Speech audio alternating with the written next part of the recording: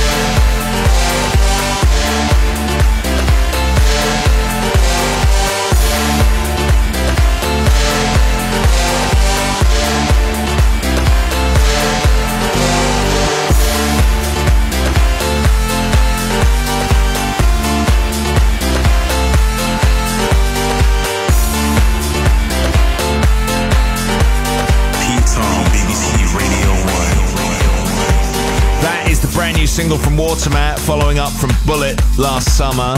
He teams up with TAI. It's coming out on Spinnin'. It's called Frequency. Before that, Dancing in the Dark.